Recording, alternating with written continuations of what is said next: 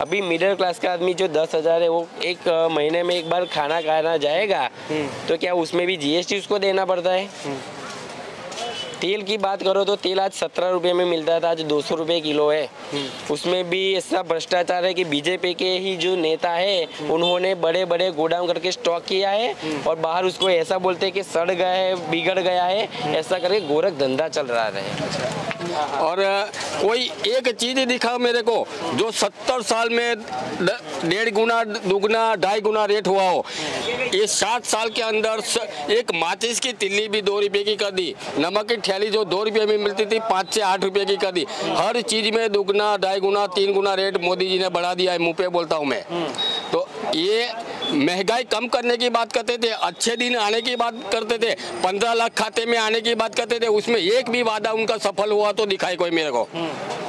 काला धन भी लाने का वापस वादा किए थे ना? वो तो आने वाला ही नहीं था क्योंकि उनके लोगों का पैसा पहले ही चेंज हो गया था एडवांस में।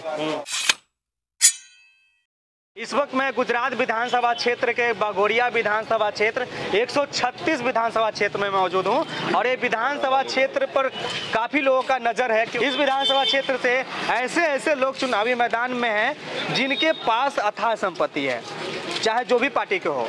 और हमारे साथ अभी एक कांग्रेस के नेता मिल गए हैं और कांग्रेस के पिछले बार की बात करूँ तो पिछले बार सतहत्तर सीट आया था। और बाकी जो अन्य पार्टी हैं उन लोग का सीट जो आया था बीजेपी का निन्यानवे सीट आया था। लेकिन इस बार अगर देखा जाए सर्वे में तो एनडीटीवी के अनुसार तिरपन से अंठावन सीट के आसपास लग रहा है कि यह सीट इन लोग का आएगा। लेकिन अभी हमारे साथ कांग्रेस के एक अच्छे नेता हैं जो यहाँ के स्थानीय नेता हैं। और क्या नाम हुआ आपका? केतन सिंह परमार। केतन सिंह परमान है। केतन सिंह परमान ना? तो केतन सिंह जी बताइए कि हर बार सत्ताईस साल से जब बीजेपी की सरकार चल रहा है उस दरमियान आपकी जो पार्टी है ये सतहत्तर पर क्यों क्यों अटक जाती है? सत- अभी तो देखो सत्ता पे अटकती रही है लेकिन पार्टी तो हमारी मेहनत कर रही है। लेकिन अभी जो डिसीज़न है वो पब्लिक पर है। अभी सत्ताईस साल में जो भारतीय जनता पार्टी बोल रही है कि हमने ये किया वो किया तो सत्ताईस साल में खाली बीजेपी ने जो कंपनियाँ आती है वो बेच डाली है। और जो महँगाई कर दी है और जो कंपनी के जो मतलब जो लोग अभी पढ़ लिख के बड़े होते हैं और उनको एक लेवल मिलता है कि तीस हज़ार सैलरी पच्चीस हज़ार सैलरी का एक जॉब मिलता है कंपनी में रहे उनकी फैसिलिटी मिलती है वो तो अभी मिल नहीं रही है। अभी मैं तो बोलता हूँ कि अभी जो हमारी साठ या सत्रह सीटें आती है बराबर मैं बोलता हूँ ज़ीरो सीट चाहिए हमको। अच्छा। बराबर क्यों? क्योंकि जब भारतीय जनता पार्टी अभी बोल रही है कि हमने अच्छे काम किए हैं तो उनको पब्लिक में प्रचार करने की ज़रूर नहीं है। पहली तो बात मेरी ये है। भारतीय जनता पार्टी अभी बोल रही है कि हमारी 100 182 सीटें आ रही है। तो मैं उनको यही बोलता हूँ चाहता हूँ कि उनके सामने हम आम आदमी या कांग्रेस को हमको प्रचार करने की ज़रूरत नहीं है। आप भी प्रचार मत करो। तो पब्लिक डिसाइड करेगी कि कितनी सीटें आती है। तो इतने साल से 27 साल से लगातार एक ही पार्टी की सरकार है। उससे पहले आपकी सरकार थी। हाँ। आपके आपके सरकार से पब्लिक ना खुश हुए तभी तो आपको हार करना हार का सामना करना पड़ा। हाँ। है? अगर बीजेपी अच्छा कर रहे हैं तभी तो इतने साल से जीतते आ रहे हैं। बीजेपी आ रही है सही जो बात। भी हो। जो भी हो आ रही है। लेकिन अभी पहले की बात और अभी जो इलेक्शन अभी 2022 का आ रहा है। हाँ, आ रहा कि है? आ, है रहा मतलब है। हाँ, दो पाँच का आठ तारीख को आठ रिज़ल्ट है। तारीख हाँ। आठ तारीख को रिज़ल्ट है पाँच तारीख को चुनाव का इलेक्शन है। अभी उसमें जनता ही बताएगी कि हमारी सीटें कितनी आएगी या बीजेपी कितने गए और दूसरी बात मैं बोल रहा हूँ कि पीएम नरेंद्र मोदी अभी उनको खुद का एक लेवल स्टैंडर्ड ही नहीं पता है कि कब कौन से चुनाव में कब अपने को उतरना चाहिए। अभी उनको घबराहट हो रही है। कि हमारी सीटें जाने वाली है। इसलिए अमित शाह भी नीचे आ गए हैं। मोदी जी आ रहे हैं। तो भी नीचे मतलब? आ, नीचे गुजरात में। अच्छा गुजरात में हाँ गुजरात में प्रचार करने की ज़रूर नहीं है। अभी आप एक लेवल सोचिए ना। अभी अभी के दौरान अभी कांग्रेस के राज में प्राइम मिनिस्टर जो जो भी रह चुके हैं वो एमएलए की जो चुनाव आते हैं तो क्या उसमें आते हैं वो लोग? वो विधानसभा के विधायक है उनको आना चाहिए। तो वो लोग क्यों आ रहे हैं? अभी उनको डर तो है। अभी इन लोगों ने इतने साल तक, सत्ताईस साल तक मुझे ये बताई है कि एक आदमी का सैलरी अभी दस हज़ार से पंद्रह पंद्रह हज़ार हुआ है। बराबर, उन्होंने बोला कि हमने बहुत अच्छा किया है। बराबर तो मैं मिडिल क्लास के जो पंद्रह हज़ार लोग, पंद्रह हज़ार की सैलरी जो हो रही है, उनके अकाउंट में कितनी बचत हुई है, मैं ये देखना चाहता हूँ। अभी बीजेपी बोल रही है।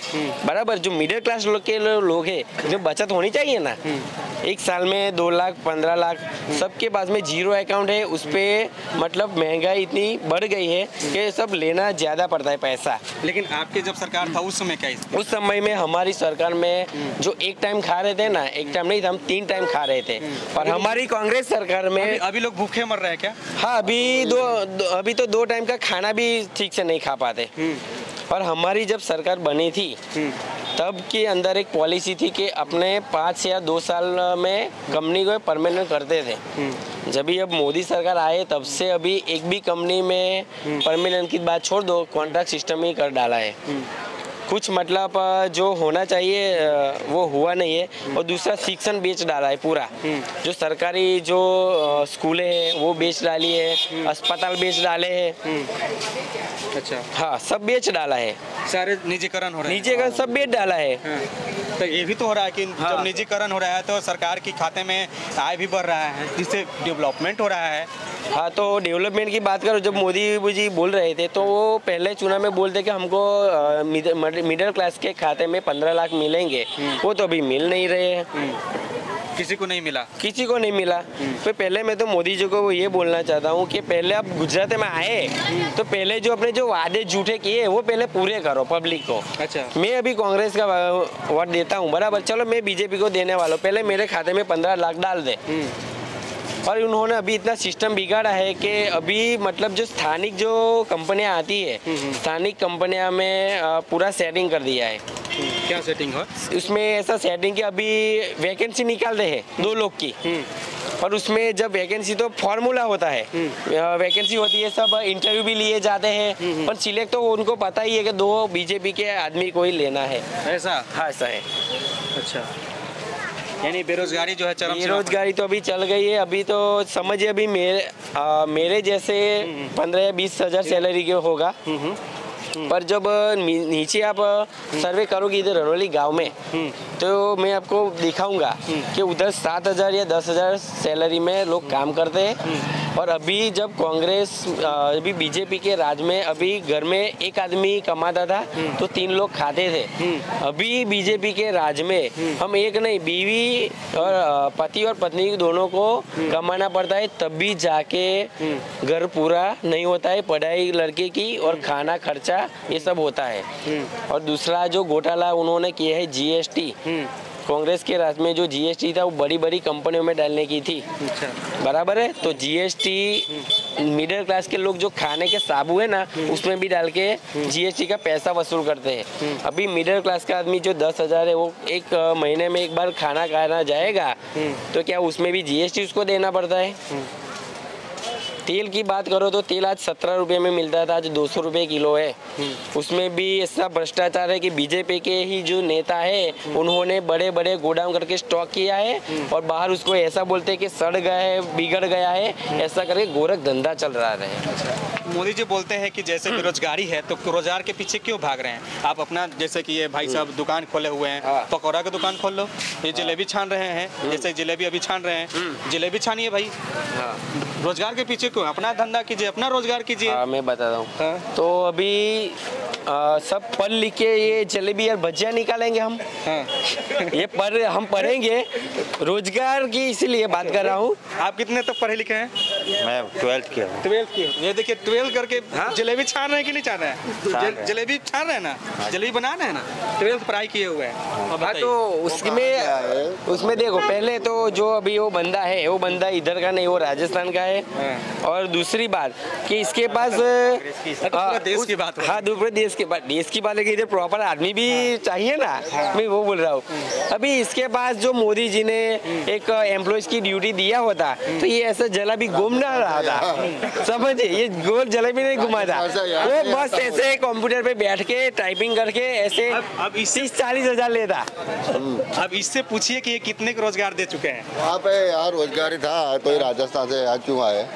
दूसरी गाँव दूसरी बात में बोलता गुजरात हूँ। में। देखो अभी मोदी जी ऐसा बोल रहे थे कि रोजगारी मिल रही है। बराबर? तो जो हमारा जो गुजरात है बराबर? तो एमपी यूपी से सब लोग इधर क्यों आते हैं? अब समझिए। तो फिर एमपी यूपी से इधर यूपी नहीं बिहार भी है। हाँ बिहार भी चलो वो बिहार भी है। एमपी यूपी बिहार कुछ भी गिन लो। बराबर ठीक है? तो जब मोदी जी ऐसा बोल रहे हैं कि रोज़गार मिल रहा है ठीक है? तो उधर से इधर आना ही नहीं चाहिए ना। इधर क्यों आ रहे तो हैं रोज़गार इधर मिला है तो। मुझे बताइए कि सत्ताईस साल में मोदी जी ने कितना कितनी कंपनी बनाया नया अच्छा, कैसे बनाया? बात बताइए। आप बोल रहे हैं कि एमपी यूपी चाहे बिहार बताएँ बताएँ। उधर से लोग इधर क्यों आ रहे हैं? हाँ। क्योंकि यहाँ पर इंडस्ट्री ज़्यादा मोदी जी ने लगवाए हैं। क्यों? हाँ तो उधर नहीं लगवाए हैं। ये तो कांग्रेस जी ने लगाया है। मोदी जी ने इधर कुछ मोदी एक मिनट एक मिनट। क्या बात कर रहे हैं? मोदी जी कंपनियाँ बढ़ा है। हाँ तो मैं वही बोल रहा हूँ। हाँ? देखो अभी जी एस एफ़ सी इधर। G S F C G S C L है ー、आप कांग्रेस की जब सरकार था तो अडानी अंबानी जो आज इतना जो सबसे ज़्यादा अमीर व्यक्ति बने हुए हैं क्या थे? नहीं ना? हाँ। अभी ही बने हुए ना? अभी उन्हीं का कंपनी ये सब ज़्यादा रोज़गार लोगों को दे रहे हैं ना? पर मैं वही तो तो मैं मैं वही बोल रहा हूँ कि मोदी जी को पहले मेरे को उनको बताइए मुझे डील करवाइए कि आपने कौन सी कंपनी बनाई सत्ताईस से मुझे वो तो जानना चाहिए ना। मेरे हिसाब से तो कोई कंपनी ही नहीं बनी। अब जब ये सब पुरानी कंपनी है वो तो जो चल रही थी उसको भी बिगाड़ के बंद कर दिया अभी देखिए बिजली की बात कीजिए तो अभी दो पाँच रुपये बढ़ गया है, बराबर है। तो जब उसको प्राइवेट सेक्टर क्यों किया? जब कंपनी गवर्नमेंट चल रही है तो उसको बंद करने की ज़रूरत क्यों थी? प्राइवेट सेक्टर में क्यों डाल दिया? चलिए ऐसे ही एलआईसी भी हुआ है। बहुत सारे कंपनी को जो अच्छा चल रहा था हाँ। उसको भी निजीकरण किया जा रहा है। और यहाँ तक कि बीएसएनएल को भी निजीकरण करने की बातचीत हो रही है। हाँ। जो बीएसएनएल यानी कि फाइव यहाँ पर अभी तो वो थ्री जी फोर जी ही स्पेक्ट्रम में चल रहा है। और यहाँ पर एयरटेल और जियो ये सब फाइव जी लॉन्च कर रहा है लेकिन फाइव जी का यहाँ पर स्पेक्ट्रम उन लोग को बेच दिया जाता है। लेकिन सबसे पुराना कंपनी बीएसएनएल उसको नहीं हाँ, मिल पा रहा है। सोचने की बात है। हाँ और कुछ बोलना चाह रहे हैं। इन लोग से भी जान ले दीजिए आप बहुत बोले। हाँ, अच्छा। बोलिए मुझे अभी दूसरा एक घोटाला बहुत बड़ा है। क्या घोटाला है? आ, जो मोबाइल के जो टावर रिचार्ज आता था हाँ, हाँ। ठीक है? हाँ हाँ। तो पहले इनकमिंग फ्री थी। हाँ हाँ। कांग्रेस के राज में जो इनकमिंग आती है वो फ्री थी। अच्छा। अभी जो दूसरा घोटाला और सेटिंग इतना बड़ा किया है कि 28 डेज़ अब जब रिचार्ज करो इनकमिंग का भी पैसा देना पड़ता है। क्या आपका जो सरकार बनेगा तो पूरे गुजरात में? हाँ इनकमिंग फ्री होगा। आप करवा दीजिएगा। नहीं मेरी सरकार करेगी। जो 1100 का बॉटल चल रहा है वो बारह सौ में होगा। हाँ। तो ये आप तो एक। छोटे से प्रखंड का लीडर हैं। हाँ। तो आप पूरे स्टेट लेवल के लीडर से आप बात करेंगे ये चीज़ के लिए? हाँ वो तो है ना मेरा लेवल। बात मानेंगे? मानेंगे ना। अच्छा। तो हमारी सरकार तो यही तो मैं चल रहा हूँ। ऐसे दिखावा तो ऐसे दिखा तो नहीं कर रहा हूँ ना। अब मेरे फेसबुक पे देख लीजिए कि मेरा ऐसा सोशल मीडिया में तो एक्टिव हूँ मैं लेकिन कहीं हाँ। कहीं ना कहीं आप लोग कार्यकर्ता लोग अच्छे नहीं कर पा रहे हैं तभी तो आपके सीट नहीं अच्छे आ पा रहे हैं। आप हमेशा हार जा रहे हैं। हाँ। चाहे विधानसभा की बात आए या तो लोकसभा की बात आए हाँ। देखो अभी हम हार रहे हैं उसमें अभी पब्लिक का तो डिसीज़न है। हम ये हम तो कह रहे हैं कि हमें वोट दो।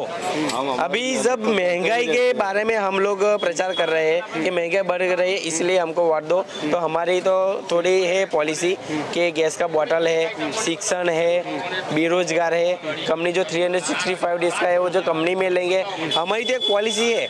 लेकिन अभी जब ये लड़ रहे हैं मोदी जी तो उनका तो कोई पॉलिसी ही नहीं है।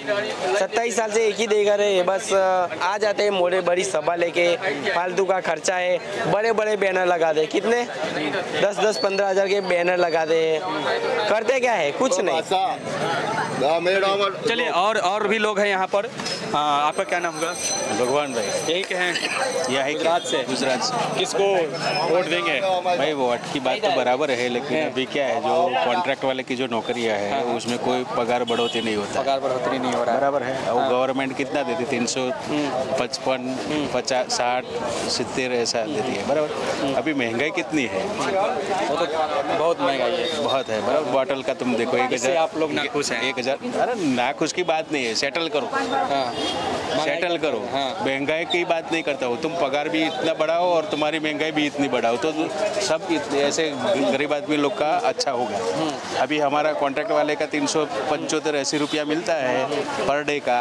बराबर है। उसमें जो हम लोग हमारा गुजारा करने के लिए जाएगा तो कुछ नहीं होगा। इसके लिए मैं तो नरेंद्र मोदी को बोलता हूँ कि तुम तुम्हारी सरकार जो है ना उसमें ये भी ध्यान रखो। खाली बड़े लोग और छोटे तुम्हारे जो है कंपनी वाला उनको भी मत देखो। ये जो आदमी लोग है ना उसको भी मध्यम वर्ग हाँ। हाँ उनको देखो। तो उनको कोई देखने के लिए नहीं आता है। मैं 16 साल यहाँ एलएनटी में काम किया बराबर है? फिर 16 साल के बाद कॉन्ट्रैक्ट को अभी आउट किया उसके साथ हम लोग को भी आउट कर दिया।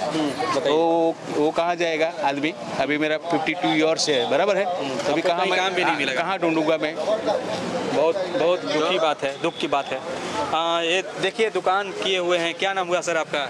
मेरा नाम करीम भाई है। क्या है करीम भाई? क्या लग रहा है इस बार सरकार किसकी बनेगी? सरकार बनने की बात छोड़ो लेकिन महँगाई इतनी बढ़ा दी है। ये मोदी जी और स्मृति ईरानी बोलती थी साढ़े चार सौ दस में गैस का बोतल बहुत महँगा पड़ता था। अभी एक हज़ार साठ रुपया हो गया महँगा नहीं पड़ता और बोतल लेके कोई रोड पे भाजपा वाले नहीं आते। बराबर? और कोई एक चीज़ ही दिखाओ मेरे को जो सत्तर साल में डेढ़ गुना दुगना ढाई गुना रेट हुआ हो। ये सात साल के अंदर एक माचिस की तिल्ली भी दो रुपए की कर दी। नमक की थैली जो दो रुपए में मिलती थी पाँच से आठ रुपए की कर दी। हर चीज़ में दुगना ढाई गुना तीन गुना रेट मोदी जी ने बढ़ा दिया है मुँह पे बोलता हूँ मैं। तो ये महँगाई कम करने की बात करते थे अच्छे दिन आने की बात करते थे पंद्रह लाख खाते में आने की बात करते थे उसमें एक भी वादा उनका सफल हुआ तो दिखाई कोई मेरे को। काला धन भी लाने का वापस वादा किए थे ना? वो तो आने वाला ही नहीं था क्योंकि उनके लोगों का पैसा पहले ही चेंज हो गया था एडवांस में।